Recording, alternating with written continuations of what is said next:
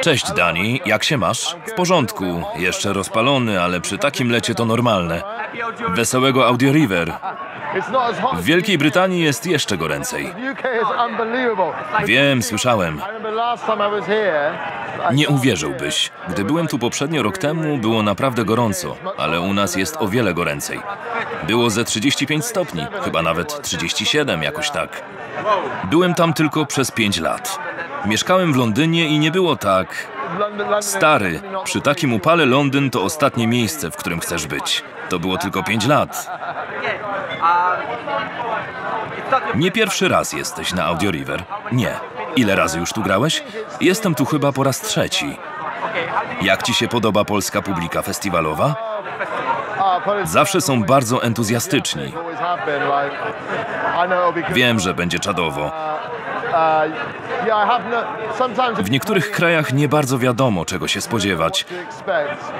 A tu wiem, że moje sety będą docenione. Czuję się tu jak w domu. Wasza publiczność reaguje podobnie jak ta w Wielkiej Brytanii. Wiem, że wolą nieco radośniejsze kawałki. Tak, to prawda.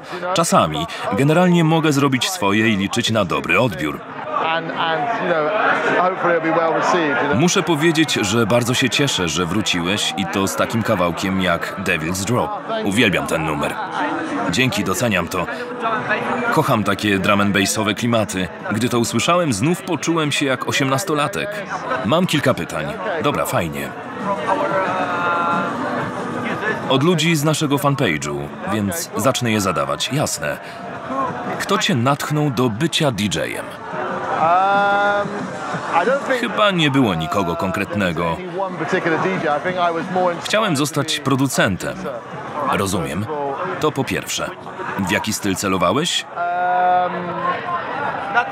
Raczej nie drum and bassowym. To były początki hardkoru. Altern 8, oczywiście The Prodigy, SL2, DJ Sai, Oczywiście, no i Ronnie Size i inni. Ciężko powiedzieć, który z DJ-ów był moją inspiracją.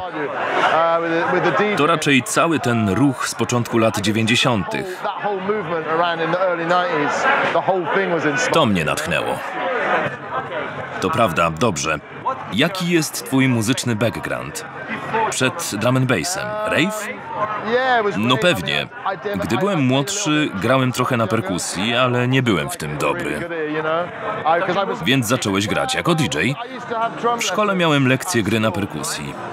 Któregoś dnia nauczyciel, spotykaliśmy się co tydzień, przyniósł automat perkusyjny.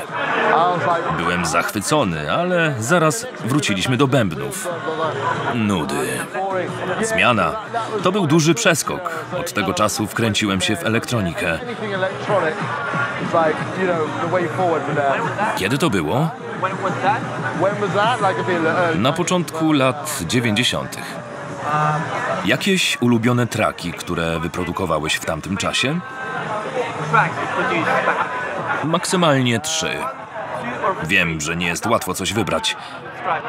Mam swoich faworytów z różnych okresów, jasne? Z różnych albumów. Na początku XXI wieku wyprodukowałem bootleg Briana McKnighta, R&B versus D&B. To było coś wielkiego.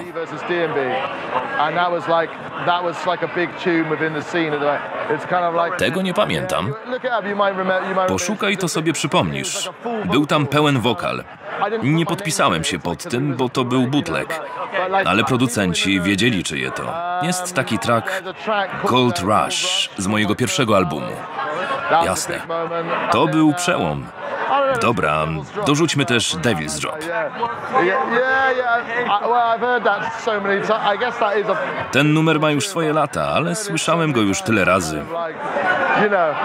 Na każdym albumie mam swój ulubiony track. Ciężko coś wybrać. Sami wybierajcie, ja je tylko tworzę. No tak, ale nie zrobiłeś tylko pięciu czy dziesięciu utworów.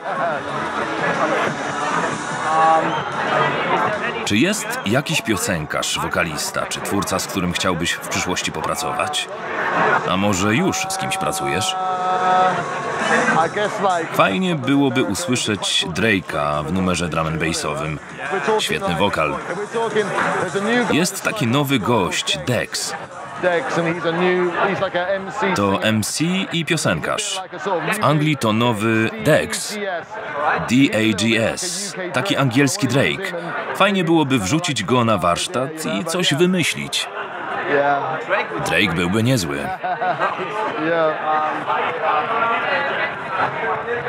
Przygotowujesz coś nowego? Jakiś album? Uh, Nowy album ukaże się we wrześniu. Dokładnie 7 września. uh, Zatytułowany Atomic Funk.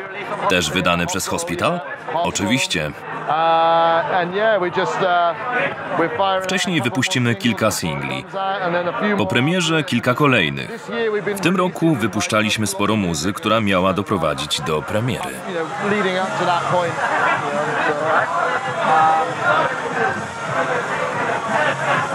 Jak oceniasz wielki powrót stylu drum and bass, który zaczął się w 2016 roku?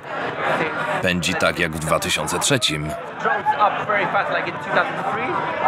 yeah, Chyba rozszczepił się na różne podgatunki. Co o tym sądzisz? Rozbrzmiewa w stacjach radiowych. Może tak właśnie się stało w Polsce. Pamiętaj, że w każdym kraju na świecie drum and bass może być na topie albo być stylem niszowym. To kwestia cyklu.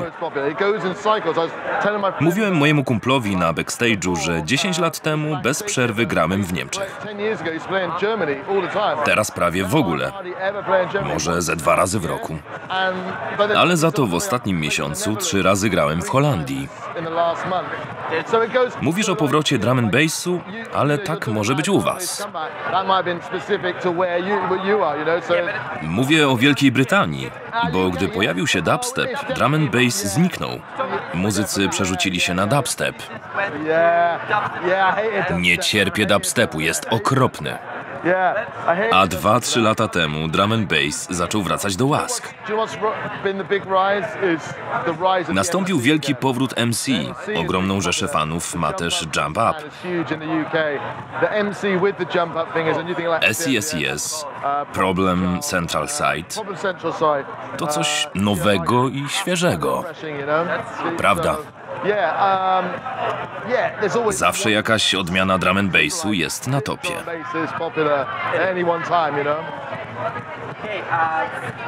Ostatnie pytanie. Wszystkich nie zadam, za dużo ich. Zaraz idę grać, ale mamy jeszcze 20 minut. We got 20 minutes. Głupie pytanie. Co dzisiaj zagrasz? Trochę starych, trochę nowych traków i coś pomiędzy. Masz jakiegoś MC? Tutaj chyba go nie potrzeba. Są takie miejsca, gdzie ich nie lubią. Byłeś już na scenie? Widziałem, wygląda super. Świetny dźwięk. Najpierw usłyszałem, a potem zobaczyłem i nie mogę się doczekać. Czekamy na twój set. Możesz grać więcej niż 10 minut. Bardzo dziękuję za rozmowę. Baw się dobrze i do zobaczenia. Do zobaczenia. Cześć.